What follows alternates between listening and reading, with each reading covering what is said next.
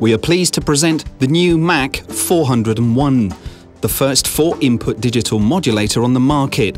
It's the latest in the series of autonomous Mac modules from Ikusi.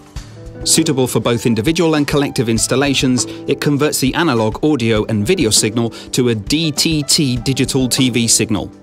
The new Mac 401 stands out for its easy use and can be seen below. In this example, the signal from two security cameras, a satellite receiver and a multimedia player will be modulated. After attaching the device to the wall, connect the audio and video cables to the RCA input connectors.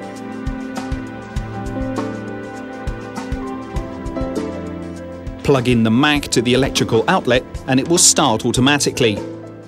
Now set the output parameters. To do this, connect the measuring equipment, select the frequency using the control button with the help of the meter, and adjust the power.